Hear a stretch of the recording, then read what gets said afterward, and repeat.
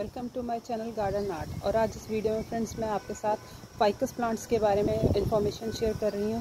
Friend ficus की बहुत सारी वेराइटीज़ होती हैं, लेकिन एक ये बेसिक फाइकस है जो कि बहुत सारे गार्डन्स में या कॉमन एरियाज़ में मिल जाएगा।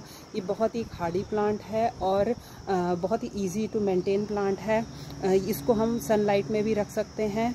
और इसके अलावा पांडा और दूसरी जो है उनको थोड़ा सेमी शेड एरिया में रखना पड़ता है।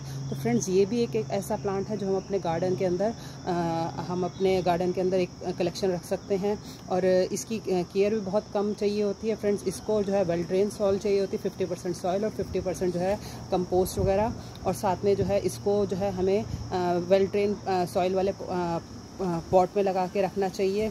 इसकी वाटर रिक्वायरमेंट भी एक बार समर्स में तो दिया जाता है, लेकिन विंटर्स वगैरह में हम इसको एक दिन छोड़ के देते हैं। इसका ग्रोइंग पीरियड भी जो है वो समर का बेस्ट रहता है। और फ्रेंड्स इसको जो है हम मल्टीप्लाई कर सकते हैं बहुत सारी कटिंग्स करके। तो फ्रेंड्स ये जो प्लांट है, ये भी एक हमारे गार्डन के अंदर होना चाहिए। इसको जो है हम ये अगर हम ग्राउंड में लगा के रखते हैं तो एक ट्री का शेप ले लेता है और इस तरह से जो है मतलब इसकी जो स्टेम है बहुत थिक होती है। तो इसकी हम टोपियारीज वगैरह भी बना सकते हैं। चाहे वो एक बॉल की तरह या अलग अलग इसकी ब्रांचेस के जो है हम अलग अलग टोपियारीज बना सकते हैं। तो फ्रेंड्स उसके बारे में मैं आपके साथ इन्फॉर्मेशन किसी और वीडियो में शेयर करूँगी। तो ये जो है, ये बेसिक चीज़ें हैं, एक फाइकस के बारे में।